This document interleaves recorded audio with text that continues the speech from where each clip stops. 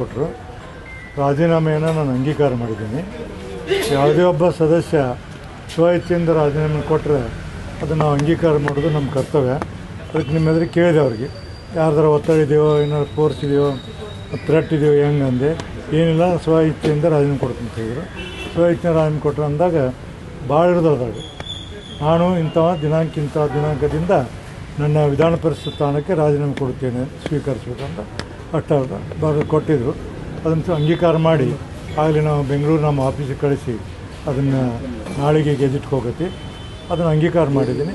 ಮತ್ತು ಅವರು ಅದನ್ನು ಒಂದು ಕಾಪಿ ಕೊಟ್ಟಿನ ತೊಗೊಂಡು ಹೋಗ್ಬೋದು ಯಾರು ಯಾರು ಫೋನ್ ಮಾಡಿದ್ರಿ ಸರ್ ತಮಗೀಗ ಭಾಳ ಮಂದಿ ಫೋನ್ ಮಾಡಿದ್ರೆ ಅದನ್ನು ಹೇಳೋಕ್ಕಾಗೋದು ಅಲ್ಲ ಯಾರು ಸರ್ ಏನಿಲ್ಲ. ನನಗೆ ಯಾರು ಏನೂ ಕೇಳಿಲ್ಲ.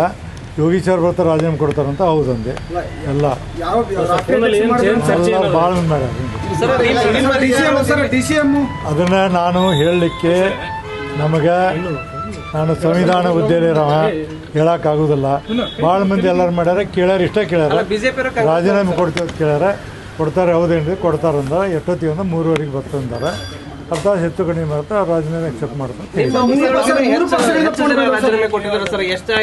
ಇವತ್ತಿಗೆ? ಇವತ್ತಿಗೆ ಹನ್ನೆರಡು ಜನ ಹದಿಮೂರು ಜನ. ಸರ್ ರೆಕಾರ್ಡ್ ಇದೆ. ಎಷ್ಟು ಮಂದಿ ಇಟ್ಟು ಈಗ ನಾನು ಸಭಾಪತಿ ಆದಾಗಿಂದ ಹದಿನೆಂಟು ಜಿಲ್ಲೆವರೆಗೆ ಹದಿಮೂರು ಮಂದಿ ರಾಜೀನಾಮೆ ಕೊಟ್ಟಾರ. ಹದಿಮೂರು ಮಂದಿ ರಾಜೀನಾಮೆನ ಅಕ್ಸೆಪ್ಟ್ ಮಾಡಿದೆ ಹೈಯೆಸ್ಟ್ ಎರಡು ಮೂರು ಇತ್ತು ಹಿಂದೆ. ಹಿಂದೆ ಎರಡು ಮೂರು ಇತ್ತು ಅಷ್ಟೇ. ಅವಾಗೆಲ್ಲ ಏನಂದ್ರೆ ನಿಮ್ಗೆ ಹೇಳ್ತೀನಿ ರಾಜಕಾರಣ ಭಾಳ ಪ್ಲೇನ್ ಆಗಿತ್ತು ಅವಾಗ. ಈಗ ರಾಜಕಾರಣ ಒತ್ತಡಗಳು ಹೆಚ್ಚು ಕಡಿಮೆ ಅವೆಲ್ಲ ಆಗ್ತವೆ. ಹಿಂಗಾಗಿ ಈ ಒಬ್ಬ ರಾಜೀನಾಮೆ ಕೊಟ್ಟು ಎಂ ಎಲ್ ಎಲೆಕ್ಷನ್ ಇರ್ತಾರೆ ಇನ್ನೊಬ್ಬರು ಬೇರೆ ಪಕ್ಷಕ್ಕೆ ಹೋಗೋರು ಇದ್ರೆ ಹಿಂಗಾಗಿ ರಾಜೀನಾಮೆ ಕೊಡ್ತಾರೆ. ಆ ರಾಜೀನಾಮೆ ಕೊಟ್ಟಾಗ ಅವರು ಕಾರಣಗಳನ್ನು ನಾವು ಕೇಳ್ತೀವಿ ಇಷ್ಟೇ. ನಾವು ಏನೂ ಕೇಳಕ್ಕೆ ಬರೋಂಗಿಲ್ಲ. ನೀವು ಎಲ್ಲಿ ಹೋಗ್ತೀರಿ, ಎಲ್ಲಿ ಬರ್ತೀರಿ? ರಾಜೀನಾಮೆ ಸ್ವ ಇಚ್ಛೆಯಿಂದ ಕೊಡ್ತೀನಿ ಅವ್ರು ಸ್ವ ಇಚ್ಛೆಯಿಂದ ಕೊಡ್ತೀವಿ ಅಂತ ಹೇಳಿದಾಗ ಅಲ್ಲೇ ನನ್ನ ಎದುರು ರೆಕಾರ್ಡ್ ಮಾಡ್ಕೊಂಡು ಸಹಿ ಮಾಡಿ ಇಷ್ಟ.